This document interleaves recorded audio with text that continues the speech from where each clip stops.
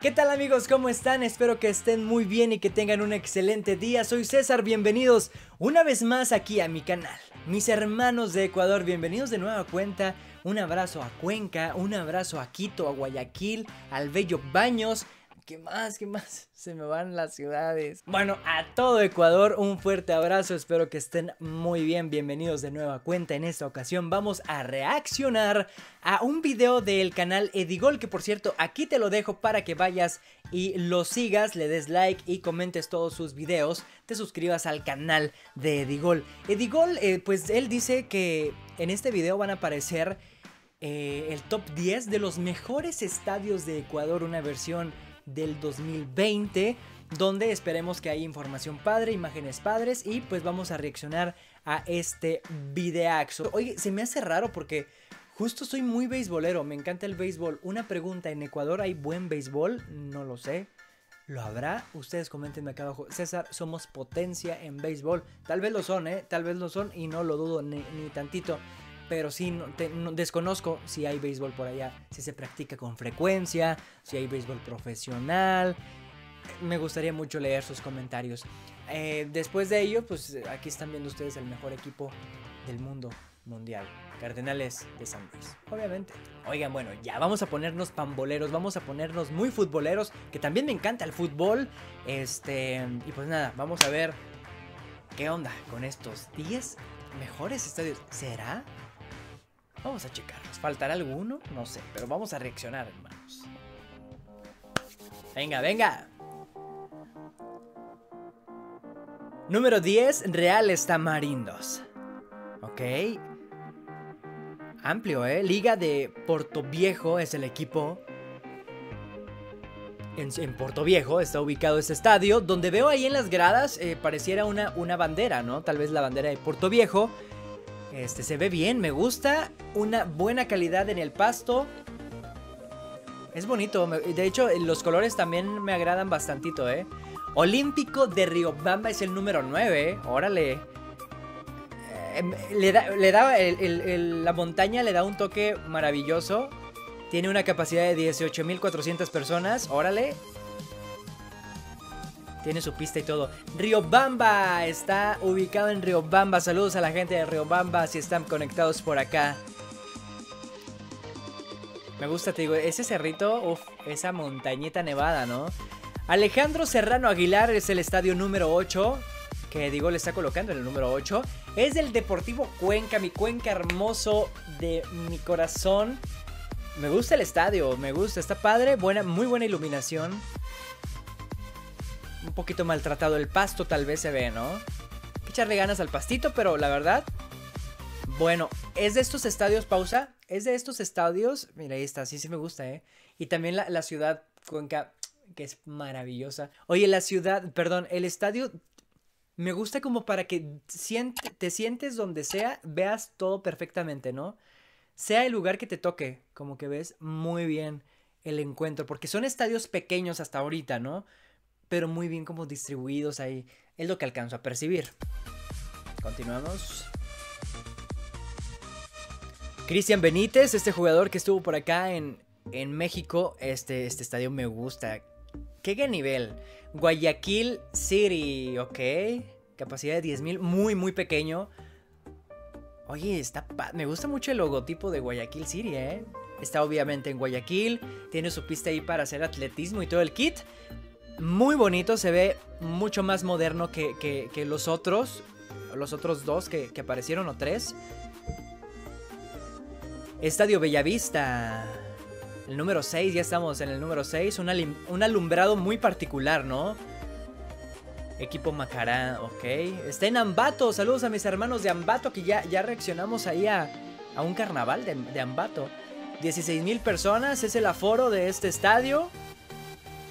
Me gusta mucho la iluminación, güey. O sea, las lámparas están padres. Y los laterales de las bancas, bueno, de las gradas, se ve, se ve chingón. El número 5, Gonzalo Pozo Ripalda. Pues yo la neta, pausa por acá. Está muy bonito este también, ¿eh? Este también está bonito. Pero yo pondría, por ejemplo, el de Guayaquil. Tal vez en este lugar, güey. Aunque es que está bonito este, vamos a verlo más. Este está muy bonito, está muy lindo. Está en Quito. Ah, ok, es justo. Capacidad de 18 mil personas. Muy amplio ya.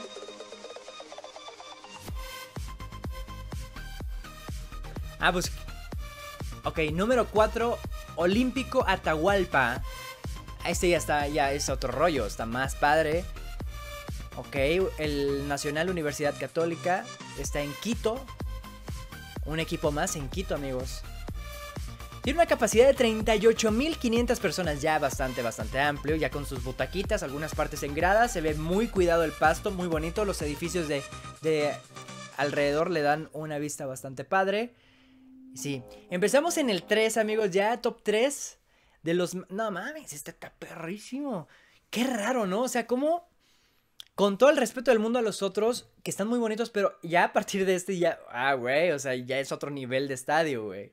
Ya es más perro, ¿no? Ecuador. Qué bonito, güey. La neta.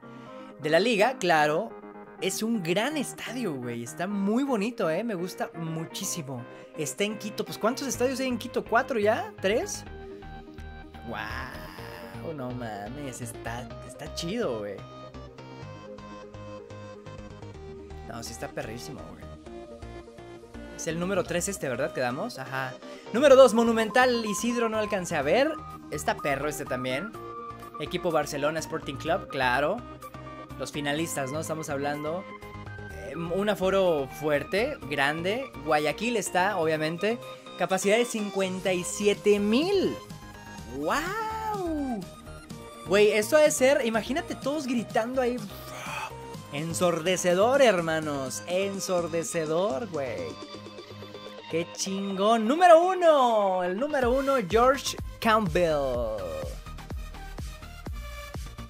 Emelec es el, equipo de... ¡Wow! No, está perrísimo. Está muy, muy moderno. Está en la ciudad de Guayaquil. Está fresísima. ¿Eso de ahí son palcos o qué son? Imagínate qué fresa estar viendo el partido desde ahí, ¿no? Aunque yo soy más de estar con la porra, la neta. Si se vive un impresionante, este... Eh, la vibra, ¿no? Y todo. ¡Ay! cantar. Mi corazón.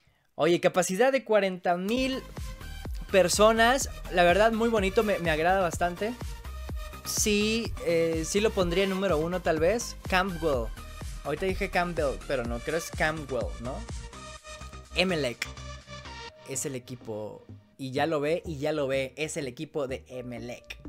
¿Eh? Para ti, ¿cuál es mejor? Comenta. Yo coincido con Edigol. Lo más importante es ¿Tú qué opinas? Yo opino, a mí me, gusta mucho este último, el de Emelec, el de Guayaquil City. Dices, güey, está muy pequeño. Sí, muy chiquito, pero no sé. Amigos, ¿ustedes qué opinan? ¿Cuál les gusta más? Obviamente te vas a ir por, por el de tu club. Yo lo entiendo, claro, para mí también acá en México yo le voy al Toluca. Que por cierto, hay dos ecuatorianos, y no es que más, bueno, que recuerde hacia ahorita. Está Joao Plata, y eh, Michael Estrada, que mi Michael ahorita últimamente anda como medio patinando, no anda muy fino, este, ya le quitaron la titularidad, pero este par de cracks, amigos, son cracks de verdad. Y pues nada, amigos, yo me quedo con eso. E, y les decía, obviamente tú vas a elegir al de tu equipo, pero, siendo muy honestos, ¿cuál te gustó más? Creo yo que ahorita me quedo con el de Guayaquil City o este último de MLX, muy bonitos. O el tercero, no recuerdo quién era el, el top número 3, el, de la posición 3 también me gustó bastante.